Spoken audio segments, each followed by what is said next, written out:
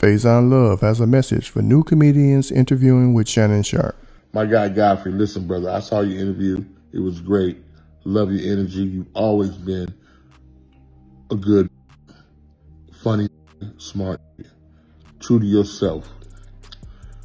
This country wing motherfucker, this hillbilly ain't never been outside his territory, wherever from, the Appalachians, wherever the some hills where they their own families and shit. I don't know where the from. But if I see them on stage, I'm snatching this off. That's on Emerald.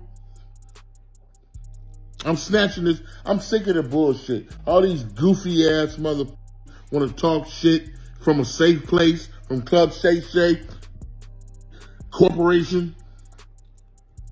Be sure to like, comment, and subscribe. I done said too much. This summer, I'm snatching off stage. Godfrey,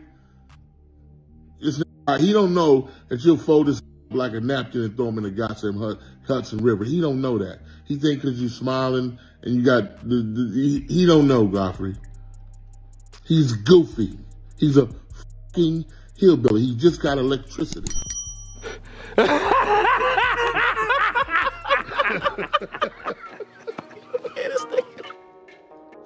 This country wing mother, you inaccurate, dumb, stupid mother.